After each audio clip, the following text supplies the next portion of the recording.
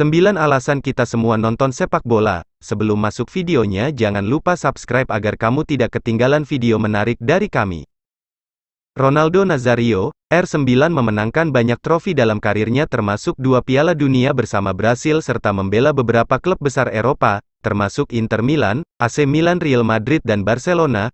Pemain Brasil itu mencetak 414 gol dalam 616 penampilan untuk klub dan negara sepanjang karirnya, Aksinya paling terkenal adalah ketika selalu berusaha melewati penjaga gawang untuk menceploskan bola ke gawang kosong, yang mana itu menghasilkan 88 gol.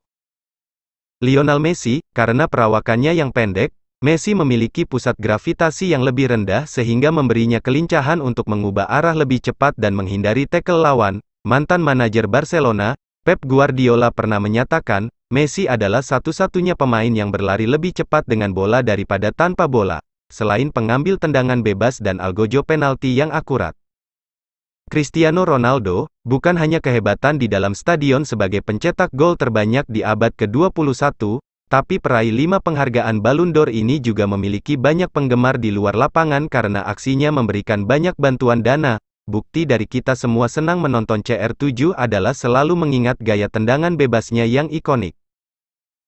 David Beckham, bukan hanya karena wajahnya yang tampan, tapi Beckham dianggap sebagai salah satu pemain terbaik dari generasinya dalam hal tendangan bebas. Rekan setim Beckham di Real Madrid, Roberto Carlos menganggap Beckham sebagai eksekutor tendangan bebas terbaik yang pernah dilihatnya.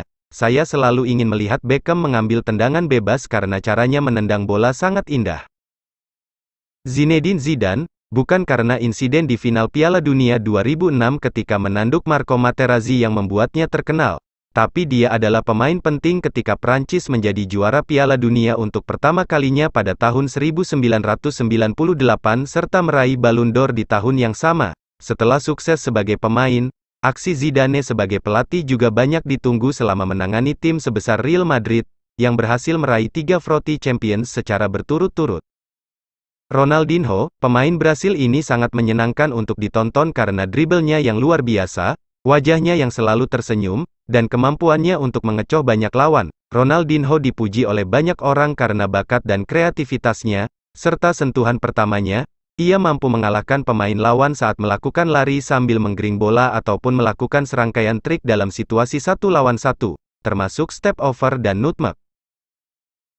Paulo Maldini, mampu bermain sebagai bek kiri saat ditugaskan oleh Arrigo Sacchi di AC Milan, namun Maldini secara alami adalah orang yang dominan dengan kaki kanan, namun dia juga merasakan sebagai bek kanan serta bek tengah, berkat keserbagunaannya bermain di berbagai posisi, serta kemampuannya dalam menggunakan kedua kakinya, membuatnya memiliki karir profesional yang panjang dan sukses, baik dengan AC Milan maupun timnas Italia. Thierry Henry, salah satu alasan yang membuatnya menarik untuk ditonton adalah kemampuannya untuk dengan tenang mencetak gol dari situasi satu lawan satu setelah melewati pemain belakang lawan dengan kecepatannya dari luar area penalti. Menurut ayahnya, Henry belajar menembak secara presisi dari menonton idolanya Marco van Basten, bermain di bawah asuhan Arsene Wenger. Henry menjadi pencetak gol terbanyak sepanjang masa Arsenal dengan 228 gol di semua kompetisi. Xavi Hernandez dan Iniesta, keduanya merupakan lulusan La Masia dan memenangkan lebih dari 25 piala secara bersama dengan klub dan negaranya. Sir Alex Ferguson pernah merasakan kehebatan dua pemain ini pada final Liga Champions 2009. Bukan Messi yang menjadi masalah, Liu Iniesta dan Xavi karena mereka bisa menguasai bola sepanjang pertandingan, koneksi antara keduanya sangat luar biasa bahkan Xavi pernah berkata, bahwa melihat, dia tahu di mana keberadaan Iniesta.